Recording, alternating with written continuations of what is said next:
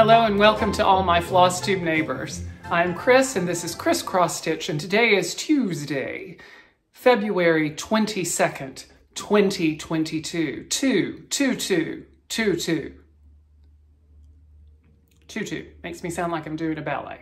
Um, if you are a new viewer, welcome to my channel. This is a channel primarily about cross stitching but we talk about so much more than just cross stitching, not other crafts necessarily, but we have a fun time here at Crisscross Stitch. So welcome to the channel. I hope that you like what you see enough to subscribe to me, to ring that little bell so you're notified when I post new videos. And I, I'm just glad to have you here visiting with me today. If you are a returning viewer, well, welcome back to the neighborhood. I'm so glad to have you here. As usual, you are my extended family all across the country and yay, verily, the globe. And I'm, I'm happy to have you here with me today. I hope all of you are chrising it up in your own way when you encounter struggles or frustrations or just things that want to bring you down. Just remember hashtag Chris it up and look for that spark of joy in your life because they're there they may, they may be hidden for the moment, but they are indeed there. And if you, uh, sometimes it's just a matter of focusing our attention upon them and it can change our entire day. So Chris it up whenever you, whenever you are in a spot, as my granny used to say. We always start each week here at Chris Cross Stitch by naming Handstanding Cat. Handstanding Cat is the top of Tiki Tree of a Thousand. I'm giggling because, you know, I've now gotten to the point where I say the exact same thing every week. You can probably recite it with me. Uh, none of this is scripted. I've said that a million times, but I guess this part is scripted. We start every week here at Cross Stitch by naming Handstanding Cat. Handstanding Cat is the top of Tiki, Tree of a Thousand Faces. And every now and then I just like to occasionally remind people why I start my videos with this silly little thing. This is a piece of teak driftwood. It's a, it's a decorative accent in my bedroom. It's beautiful. Um, used to be behind me in the, in the frame here. But one of my friends uh, said that it looked like a, a, handstanding cat. And, and you, I mentioned that one day and asked for names and I got so many that I couldn't pick just one. And the reason I do this is, is, is for no other reason than to bring a sense of inclusiveness to this channel.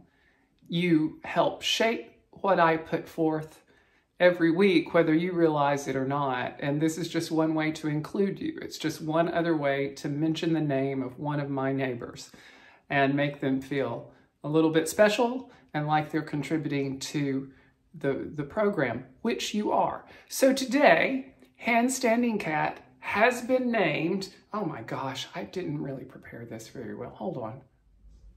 You know when you leave your iPad alone for too long, it goes to sleep? And why does, why, why is it that whenever you want technology to go quickly, it never does? This week, Handstanding Cat is named by my viewer, Chris R. Chris R. has decided to name handstanding cat Ada. Ada, which is a great name for a cross-stitched mascot. Or Aida, um, which is actually um, an opera. Um, and I don't know why we say Ada like Ada. I mean, who decided that the fabric was Ada and the, but not like the opera Aida by Verdi? Who decided that? I don't understand it. But I say it and will continue to do so. I don't know, maybe I can start a trend. Um, I'm doing this on 16 count Aida. that sounds strange. Anyway, handstanding cat, Chris R.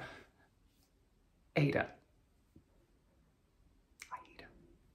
Several of you have asked about this, and I told you that it was coming down the pipeline, and it certainly is coming down the pipeline. Next month, we will begin what I am calling hashtag Mary Will Sal. And this is a stitch along that we will be doing. Um, and I'm going to tell you more about it next week. Next week, luckily, my video coincides with March the 1st. And we will be beginning this uh, on March the 1st. Uh, I will include the story that, that was the inspiration for this. I will be talking about a chart that was graciously designed by one of my viewers, Aya R, and uh, will be made available to you um, in some fashion. I'm still working out the particulars. This will be connected to a charitable endeavor, and we will be doing uh, Mary Will Sal for the during the springtime. So it is definitely coming. It is definitely uh, focused around daffodils, but not limited to, and I'll talk more about that next week. But just because I wanted to, to address some people who have been asking me, yes, we're definitely doing it. It will begin with March uh, 1st, and I'm very excited about it. And I can think of no other, no better tribute to this dear, sweet lady who was in my life, who whose story touched so many of yours as well. So uh, that's coming next week, but I just wanted to give you a little bit of a teaser for that. So stay tuned. So on to the cross stitching. You know, it always seems that when I have a, a low stitchy week, uh, and then I come on and I talk about that, something about the saying of it and the, the, the, the sharing it and hearing all of you say, I had a low stitchy week too, don't worry about it. The energy that bounces back to me is so wonderful that I have an amazing stitching week the following week. And that's what I had. Um, it, it, this is a wonderful, uh, uh, this, what we do together, I think is such a great exchange and it really helped me this week. And I got a lot done. The first thing I want to share with you is a, um, is a fully finished object. What? What? Where did that come from, Chris? You, you might be asking yourself or not. You might just be sitting there stitching, in which case I just sounded like an idiot. But, um, but you may be wondering, where did that come from? Well, what I, as you may know, I am doing each month for my little, you know, display d'objet d'art here. I, um, I'm doing these individual months from a prairie schooler's a prairie year and I began with February. I will do January next year, but I began with February and stitched this up and, and, and love it very, very much. Um, and knowing that the beginning of March was uh, impending, I decided to stitch March. Oh, and live television, ladies and gentlemen. There we go. I finished it. This was a really easy stitch. And I needed it. I needed an easy stitch, um, and I needed a finish. I needed a, bol a, a ego bolstering uh, confidence booster. And sometimes it's okay to do that for yourself. So I did this. This was, not only was it an easy stitch, it was a delightfully fun stitch. And I, I literally did it over the course of a weekend. I began it on Friday and I finished it on Sunday. And I devoted my entire weekend to it. I didn't bounce back and forth to other projects, even though I probably should have. Uh, but it was very satisfying to have this finish. It was very satisfying to know that I'm ready to change out the display next week. And I just loved everything about it. With all of these designs, I am moving the border out because these are six by six inch pre-made squares. This is a this is, um, this is an Aida cloth that is st stretched over, um, that was the weirdest wink in the world. Did you see that? I was like, ah. so ungraceful. Um, this is pre-made Aida frame oatmeal.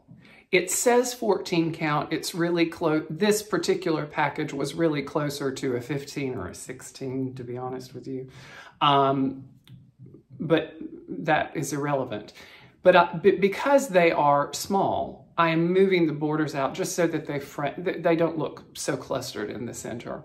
And this one, even though I did move it out an equal amount of stitches, it, it worked up a little bit more rectangular, but I don't mind it at all. I think it looks absolutely lovely. So this is a, a very, um, I'm very proud of this FFO and and I'm keeping them rather austere. You know, I thought about doing some kind of embellishment around it or maybe frame, I, but I've just not done it and I quite like it. I, I tend to skew towards simple, less is more many times.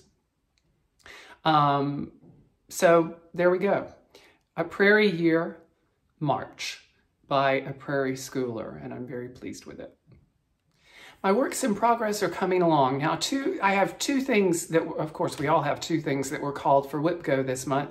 I'm probably not going to finish them. Uh, I both of the projects that were called, I had on my WIPGO board that I would devote seven days to them stitching. And my day when I say a day, this is what I mean by a day, uh, not a whole day.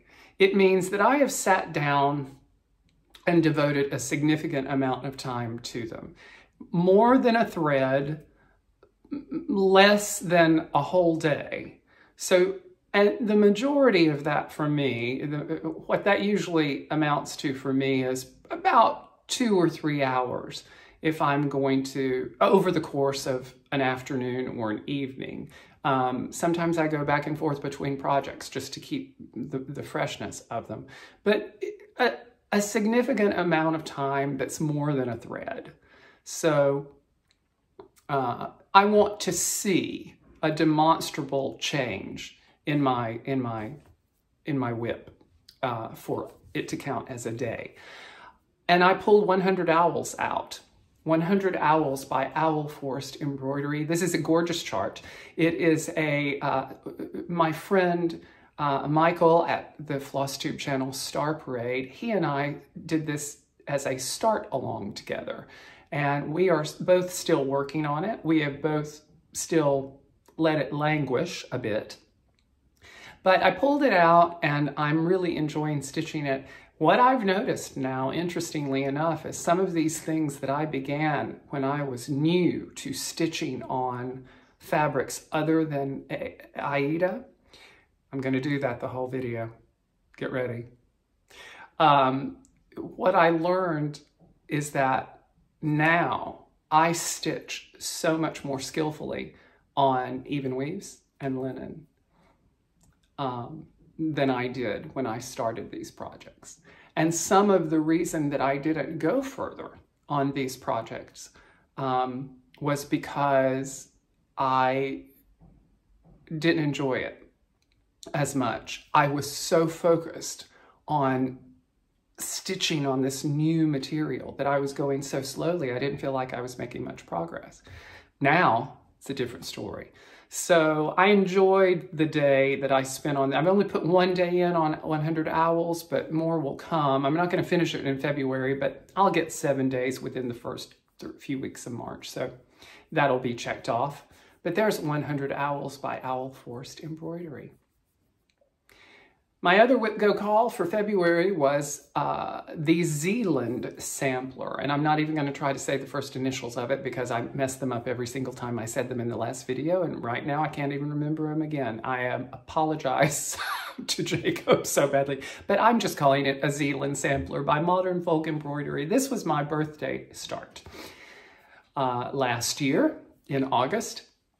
Again, love it. I just love it. Um, put it away. This is a small sampler, and I, I discovered, surprisingly, that I'm about 30% of the way through it. Uh, and uh, again, seven days. I put one day in on, no, two days in on this so far, so I have five more to go.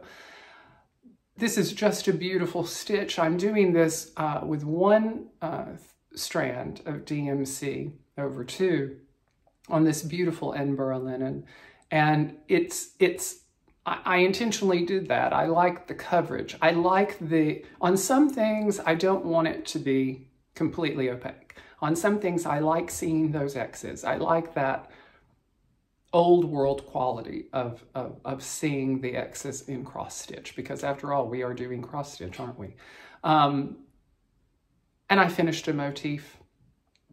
Uh, I put another day in since I last saw you and I finished this entire motif that you're seeing now. Just delightful. I'm doing this in the blues colorway, as you may well know, and I just love it. Not going to go on too long about it, but those were my two WIPGO uh, projects for February that won't be finished in February, but will be finished soon.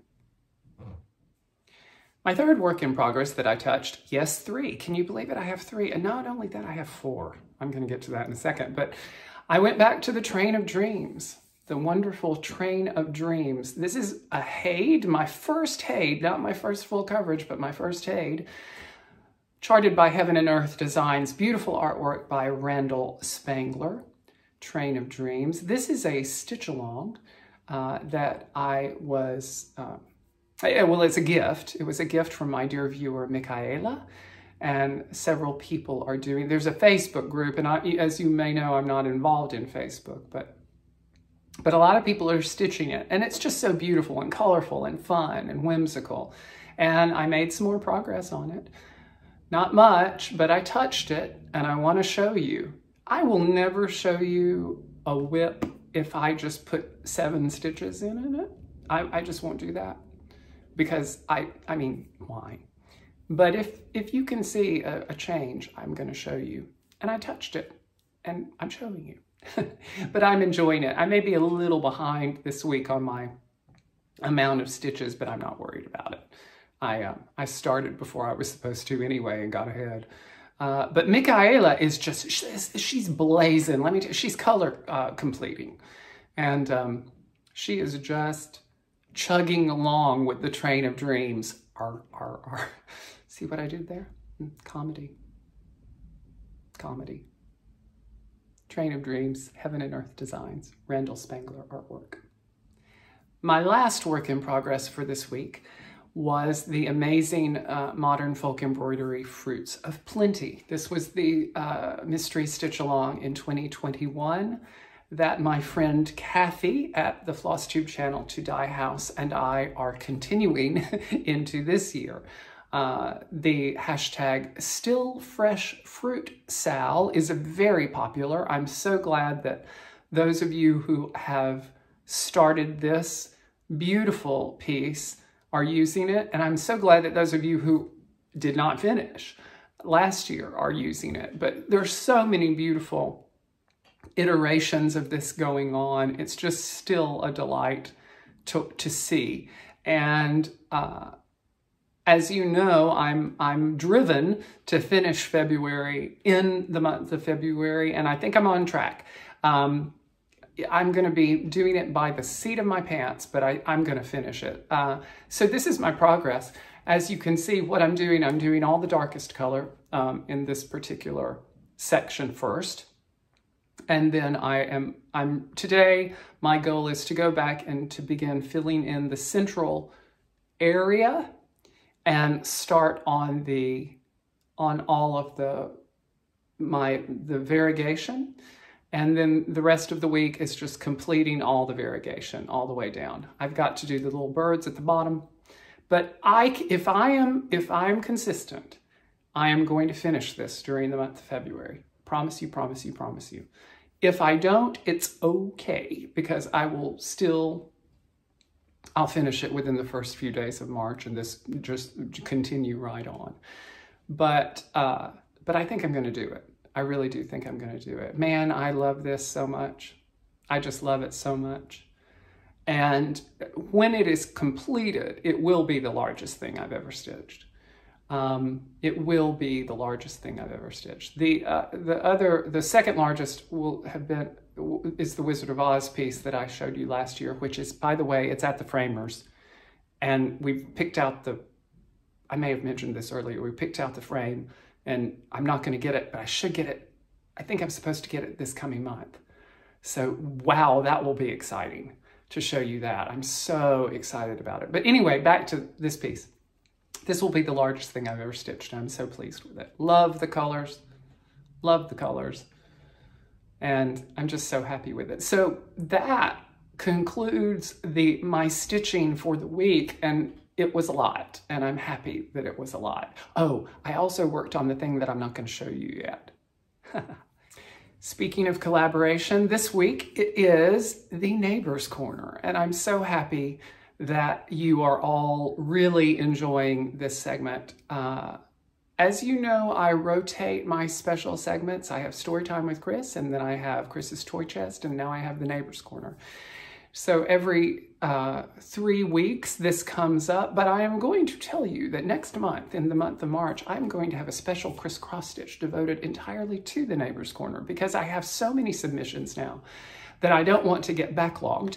And I definitely want uh, all the beautiful things that you've been sending me shown. So next week I'm planning on doing I don't know if it's going to be a separate episode or it'll just be, I'll just devote one of my weekly episodes to it, but that will be coming. But this week, I have two beautiful things to show you. The first is from our neighbor Tess B.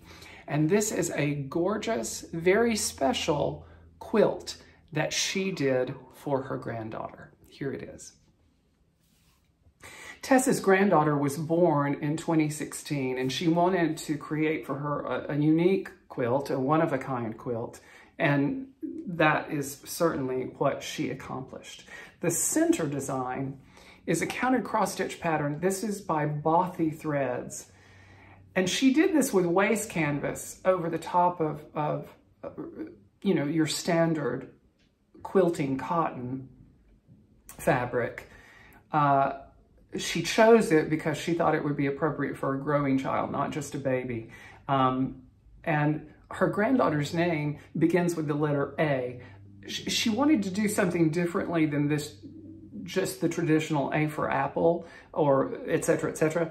And uh, she saw the alien and the other fun motifs in this particular chart and she thought it was perfect. So that's the one she chose and man, did she choose well. It's just adorable. Um, and of course, once she had stitched the whole thing, she removed the waste canvas and that was that particular panel of the quilt. She added the color strips of the fabric and, and this is really a toddler sized quilt, um, which she hand quilted the entire thing. Um, hand quilted butterflies, hand quilted flowers, um, hand quilted the letter A, which was around the edge and, and she finished it, of course, with a handmade ruffle. Such a beautiful piece. She said that she, uh, she gave it to her on her first birthday. She still loves it. Uh, um, Tessa's daughter, the mother of this the child to whom this was gifted, uh, wanted to keep it special, but Tess said, no, don't do that. I want, her, I want it to be a part of her life. So Tess says it is frequently now a picnic blanket for tea parties with stuffed animals. Um, and I think that that's just amazing. So Tess, brava to you. A job, a beautiful, beautiful quilt that I'm sure that your granddaughter treasures now and will treasure for many years to come. So just thank you for sharing it. And I, I know that everybody will, will just absolutely, absolutely love that. So thank you, Tess. The next piece in the Neighbor's Corner that I would like to show to you today comes from our neighbor Carol D. And I love this particular Neighbor's Corner uh, piece because this is actually the result of one of our giveaways here. I love seeing the things that you stitch up from the giveaways. It just completes the cycle for me. You know, you send giveaways out into the ether and there's absolutely no expectation for you to, to, to, I gave this to you, you need to work on it. Oh, that's ridiculous. You know, you, you might never ever stitch it and that's absolutely fine. But I love seeing it when you do. And I love seeing, you know, like I said, it completes the, the cycle. Well, Carol did that. She did that with this piece. Um, this is Peppermint and Holly by Brenda Gervais with Thy Needle and Thread, Brenda Gervais. And this was, uh, as I said, one of our giveaways. And she stitched this and fin fully finished it into this adorable little pillow. What makes this all the more wonderful is that Carol is new to cross-stitching. She has not been cross-stitching that long at all. And she, you know, watches the channel. She won the giveaway. She got the chart, she stitched it, and she FFO'd it, which I think is, is more than worthy of celebration. So congratulations, Carol. And I'm glad that I'm glad that you are continuing to enjoy this craft and to be inspired by this channel and other channels that you watch here on FlossTube. So well done, and thank you so much for sharing that with me. I really do appreciate it, and I know everyone else will too, especially other new cross-stitchers. If you have a submission for the Neighbor's Corner, please please, please don't ever hesitate to send it to me. Please email me at the email address below. It's chriscrossstitch at gmail.com. Make sure you spell it with three S's because just look at it. Uh, because sometimes that trips people up and it is a little bit clunky. Um, but email me with your photographs and the story behind, um, behind your stitching and I will be more than happy to feature it on the Neighbor's Corner segment and uh, and and and in future um, episodes that may be completely devoted to the Neighbor's Corner. So I love this so much, this component of the channel. So thank you to Tess, thank you to Carol, and thank you to all of you who will continue to send things in for me to share. In Happy Mail this week, I had an embarrassment of riches come to me from two of my neighbors, my neighbor Robin B and my neighbor Sarah W sent me, both sent me um, charts uh, that they had in their stash that they wanted to, to, to share with the community. And, and Sarah uh, actually had an extra of the Black Needle Society's Stitchy planners for 2022. And she she very graciously gifted that to me. Uh, and and a couple of other things were in her package. And you all say, you know, keep, you know, these these are for giveaways, but if you see anything you like, you know, you can you can have that. And very often I will take one little thing or, you know, whatever, and, and put the rest into my, into my giveaway box that I have. I have a magazine. I have one of those cardboard magazine holders and I put all those. I'm very organized. But um, but in Sarah's box, there were more than a couple of things that went into my box. so, but I, I want to thank you both for doing that. Always, I say to each and every one of you who watch, um, I'm so grateful for your gifts uh, that, that both benefit me and all of us here at Crisscross Stitch. So thank you so much for that. They are very much appreciated and I am excited to share them with you. And that's a wonderful segue to the giveaway winners from last week. We had three giveaways from last week and they were the following charts. The first with the keyword spice was this adorable little chart with a snowman and a gingerbread man. Very cute. The winner of this chart was Cactus Needle Stitches. Cactus Needle Stitches. That's not your name. So please send me your name and your address to the email below and I will get that out to you when next uh, giveaways go out. By the way, it's typically running now, I have a system that giveaways go out about every two to three weeks. So, uh, so just know that if you win, it might take a couple of weeks to get to you, but it won't take that long.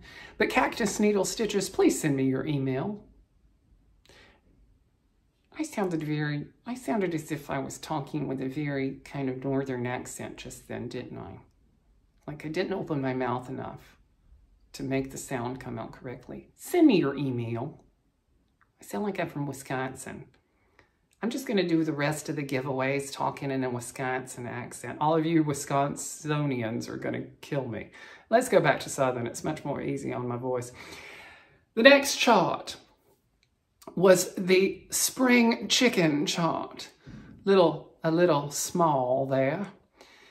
And that was won by Kathy Deal. Kathy, please send me your email. Congratulations.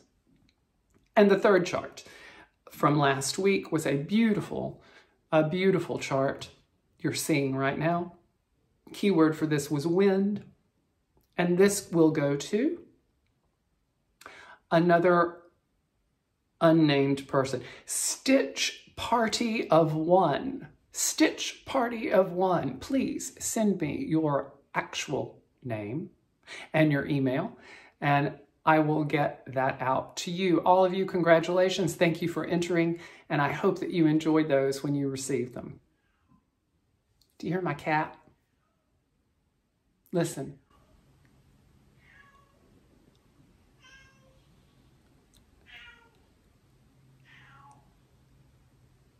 That's Pumpkin. This is Pumpkin. Pumpkin spoiled rotten. He hears me in here talking and he thinks that I'm in here talking to somebody without him. And see, the bedroom is an off kitty limits place. So he gets real, he, he, he's used to sitting at that door and meowing until I acknowledge his presence. I hear you. Yes. I'm busy.